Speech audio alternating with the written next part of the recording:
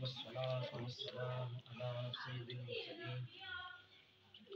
یا اللہ عز و جل ہم اس گھر میں شادی کی تقریب کے سلسلے میں حاضر ہوئے ہیں۔ ہمارا یہاں آنا باعث و خیبت خیر و برکت بنا۔ آمین۔ یا اللہ عز و جل اس گھر کی تمام خوشیوں کو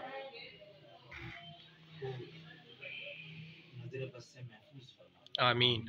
یا اللہ عز و جل یہاں شادی کی تقریب کا سلسلہ جو ہوا ہے اسے اپنی بارگاہ میں قبول فرما آمین۔ اللہ یہ شادی ان بچوں کی جو ہوگی ان میں خیر و برکتیں عطا فرما آمین۔ یہ دونوں خاندان آپس میں پیار محبت سے رہیں آمین۔ اللہ ان میں محبت و الفت عطا فرما آمین۔ یا اللہ عز و جل کی تمام پریشانیوں کو دور فرما آمین۔ یا اللہ عز و جل جتنے بھی احباب اس میں شامل ہیں ہم تمام کو صحت و کامیاب عطا فرما آمین۔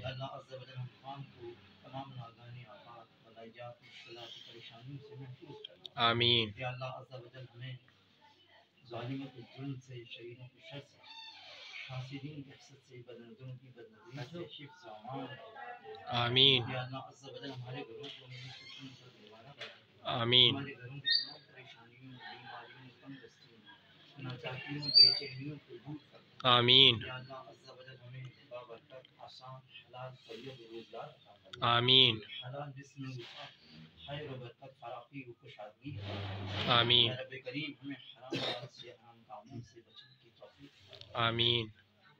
یا اللہ عز و جل تیری رضا والے کام کرنے تیری ناراضی والے کاموں سے بچنے کی توفیق عطا فرما آمین۔ یا رب کریم ہمیں نیک اعمال کرنے اور برے کاموں سے بچنے کی توفیق آمین۔ یا اللہ ہم تمام حاضرین کو بیت اللہ کی سعادت نصیب آمین۔ بار بار پیارا پیارا کعبہ میٹھا میٹھا مدینہ دیکھنا نصیب فرما آمین۔ عمرے کی سعادت نصیب فرما آمین۔ یا اللہ ہم تمام کی تمام مشکلات پریشانیوں آزمائشوں کو دور فرما آمین۔ یا اللہ عز و جل ہمیں ایمان و عافیت والی زندگی اور ایمان و عافیت والی موت عطا فرما آمین۔ یا اللہ عز و جل زیر بلند خزرہ شہادت جنت البقیع میں مدفن اور جنت الفردوس میں جامع آمین۔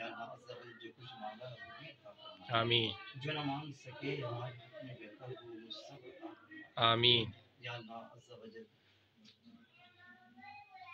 کہتے رہتے ہیں دعا کے واسطے بندے تیرے کر دے پوری آرزو ہر بے پوری آمین۔ إن الله يصلون على النبي نبي صلى الله عليه وسلم. أيها الذين عليه صلى الله على نبي صلى الله عليه وسلم. صلاة رسول الله.